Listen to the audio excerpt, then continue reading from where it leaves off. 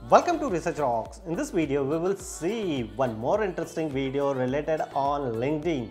In this video, we will see how to upload your updated resume on LinkedIn or if, if you already uploaded multiple resume, so how to remove the entire resume and upload updated resume. We will see detailed demonstration in this video. So now let's start as a laptop screen. So just simply first of all, we need to open here LinkedIn and I already sign in here using my username password. Simply click here profile picture, then setting and privacy. Here several tab is coming here. So after that you just simply click here data privacy. Then after that look at this here. So many options are coming.